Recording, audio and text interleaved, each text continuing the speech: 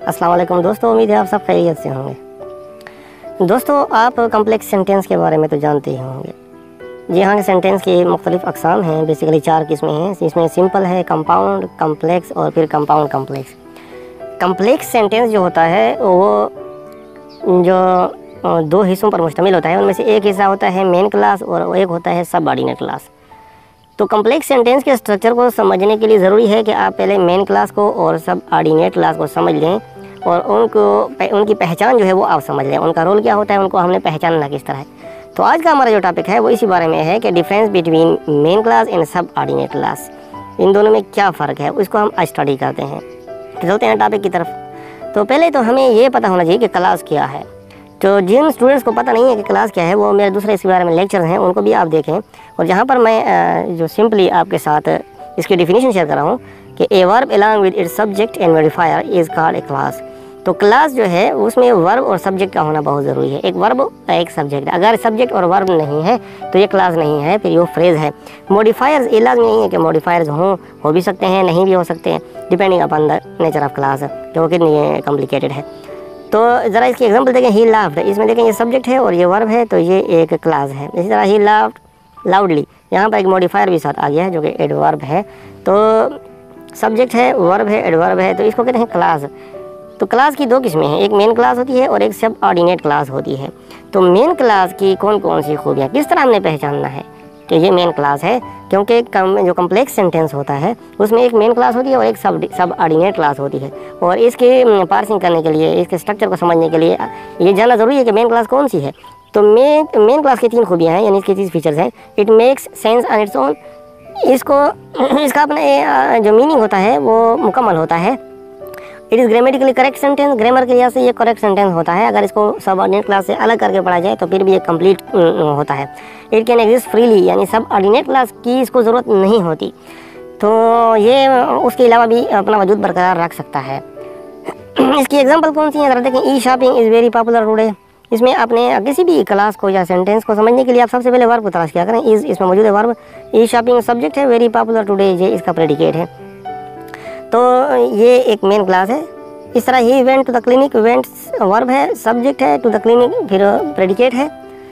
इसी तरह Tabish was very excited was इसमें वर्ब है, इससे पहले जो सब्जेक्ट है सब्जेक्ट और आयन पर ये जो प्रेडिकेट है। तो ये जो है, ये मेन क्लास की तीन एग्जांपल्स हैं। और अब, अगर आप इनके देखें, मैं तीनों वो जो फीचर्स हैं, मौजूद हैं, कि ये मीनिंग भी दे रहे हैं ग्रामेटिकली करेक्ट भी हैं यानी ग्रामेटिकली जो पार्ट्स होने चाहिए, वो मौजूद हैं इसमें। और तीसरी बात इसमें यह है कि ये फ्री अपने वजूद को कायम भी रख सकते हैं। तो आप देखें सब ऑर्डिनेट क्लास तो सब ऑर्डिनेट क्लास में भी तीन फीचर्स पाई जाती हैं। It does not make sense on its own यानी इसको अपना जो सेंस है मीनिंग क्लियर रखने के लिए क्लियर बनाने के लिए मेन क्लास की ज़रूरत होती है। इसकी की ये सपोर्टिंग क्लास है मेन क्लास को सपोर्ट कर रही होती है। It complete the meaning of main clause यानी ये मेन क्लास के मीनिंग में को मुकम्मल कर रही है, उसमें इजाफा कर रही होती है, उसको क्लियर कर रही होती है। और it begin with subordinate conjunction जो तीसरी इसके अहम फीचर है, ये सब ऑर्डिनेटिंग कंजंक्शन से स्टार्ट होती है। तो ये तीन इसमें फीचर्स हैं। यानी इसका बुनियादी जो फ़ंक्शन है, वो यही है कि मेन क्लास में जो बात कही गई है, जो इन्फॉर्मेशन दी गई है, उसी को ये क्लियर कर रहा होता है। तो अब इसकी एग्ज़ाम्पल देखें। अब मैंने मेन क्लास और सब ऑर्डिनेट क्लास इसको इकट्ठे करके लिया ताकि मजीद क्लियर हो जाए, क्योंकि सब ऑर्डिनेट क्लास को अलग करके लिखेंगे तो कंप्लीट सेंटेंस नहीं होता। E shopping is very popular today ये तो मेन क्लास हो गई जो पहले हम डिस्कस कर चुके हैं। Because it is convenient because it is convenient अब ये जो क्लास है, पहली बात हमने ये सोचना है कि ये क्लास है या नहीं है तो क्लास इसलिए कि इसमें एक वर्ब है और एक इसमें सब्जेक्ट क्लास है। अब ये सब ऑर्डिनेटिंग क्लास क्यों है? मेन क्लास क्यों नहीं है? क्योंकि ये एक सब ऑर्डिनेटिंग कंजंक्शन से स्टार्ट हो रही है बिकॉज़ और ये मेन क्लास को सपोर्ट कर रही है, उसी के मीनिंग में इजाफा कर रही है। बिकॉज़ इट इज़ कन्वीनियंट अगर आप उसको पढ़े बगैर इसको पढ़ें बिकॉज़ इट इज़ कन्वीनियंट तो इसका मीनिंग इस तरह हुआ क्योंकि ये आसान है। अब देखें ये बात नामुकम्मल है तो उस पहली बात की ज़रूरत है। ये शॉपिंग बहुत पॉपुलर है, क्योंकि ये बहुत आसान है। तो ये जो सब ऑर्डिनेट क्लास है, ये सपोर्ट कर रही है क्लियर कर रही है मीनिंग को मेन क्लास की मीनिंग को। अब ज़रा दूसरा देखें example because he was burn by the fire he went to the clinic तो यहाँ पर अब ये सब ऑर्डिनेट क्लास स्टार्ट में आ रही है बिगिन कर रही है सेंटेंस को। कैसे हमें पता चला? इस सब ऑर्डिनेटिंग कंजंक्शन से हमें पता चला कि ये सब ऑर्डिनेटिंग क्लास है। और ये मेन क्लास को सपोर्ट कर रही है। तो तीसरी सेंटेंस है Tabish who was playing in the land was very excited अब इसमें जो सब अनिटिंग कंजंक्शन है, वो हु है लिहाजा हु से जो क्लास शुरू हो रही है was playing in the land और इसका अपना कोई जो है ना मुस्तकिल मीनिंग भी नहीं है। तो ये सब ऑर्डिनेटिंग क्लास है, और इसकी पोजीशन अब इस तरह है कि मेन क्लास के सब्जेक्ट के बाद है। तो Tabish was very excited who was playing in the land इस तरह भी हो सकता है। लेकिन मैंने ये तीन पैटर्न इसलिए बनाए हैं जिसमें पहले मेन क्लास है इसके बाद सब ऑर्डिनेट क्लास और उसके बाद दूसरे में सब ऑर्डिनेट पहले आ गई सब ऑर्डिनेट क्लास और, और फिर मेन क्लास और उसके बाद जो है ना सब ऑर्डिनेट क्लास दरमियान में आ रही है। क्योंकि सब ऑर्डिनेट क्लास की जो पोजीशन होती है वो इसी तरह चेंज होती रहती है। तो आपको इस बात की भी समझ आ गई होगी कि इसकी पोजीशन हम तब्दील कर सकते हैं। अच्छा पंक्चुएशन का बहुत बड़ा रोल है। जब भी आपने याद रखना है कि सब ऑर्डिनेटिंग क्लास जब हम सेंटेंस के बिगिनिंग में आएगी तो फिर हम उसके बाद कामा लगाएँगे, बाद में मेन क्लास लगाएँगे। और अगर वो बाद में आए, पहले मेन क्लास आ जाए और बाद में सब ऑर्डिनेटिंग क्लास आ जाए तो कामा लगाने की ज़रूरत नहीं है, क्योंकि ऑलरेडी सब ऑर्डिनेटरी कंजंक्शन जो है, वो उन दोनों को सेपरेट कर रहा है, उनको जुदा कर रहा है। सब ऑर्डिनेटिंग जो कंजंक्शन है, वो बहुत अहम है।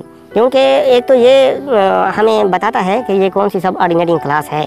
ये बहुत बड़ी अलग जब जब भी आपको ये समझ ना आ रही हो कि मेन क्लास कौन सी है और सब ऑर्डिनेटिंग क्लास कौन सी है तो आप सब ऑर्डिनेटिंग कंजंक्शन को तलाश करें और वहाँ से जो क्लास शुरू हो रही है, वही सब ऑर्डिनेटिंग क्लास है। दूसरा ये इसका जो रोल है, वो ये है कि मेन क्लास को सब ऑर्डिनेट को क्लास में कन्वर्ट करने में भी इसका अहम रोल है। इसको कोई कन्वर्ट कर सकता है। देखें वही arrive early to the party ये एक मेन क्लास है।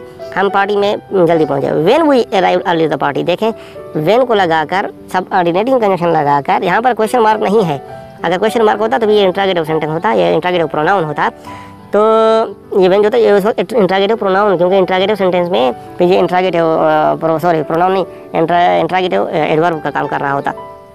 तो लेकिन यहाँ पर ये काम है इट मीन कि ये सब ऑर्डिनेटिंग क्लास है यहाँ पर, जो कि सब ऑर्डिनेटिंग कंजंक्शन से स्टार्ट हो रही है। तो इसको इसके मीनिंग को पूरा करने के लिए इसको मेन क्लास में मिलाना ज़रूरी है। The host was surprise when we arrive early to the party तो बेसिकली जो मेन क्लास है वो ये है दी होस्ट वॉज़ सरप्राइज़ वो मेज़बान तो बहुत हैरान हुआ।